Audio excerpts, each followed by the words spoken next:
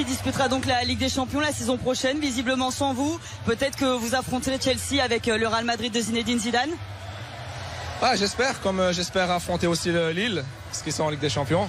Mais, mais jouer en Ligue des Champions contre Lille et Chelsea, non, ce serait, ce serait génial. Merci beaucoup Eden et félicitations. Enhorabuena, comme on dit en Espagne. Gracias.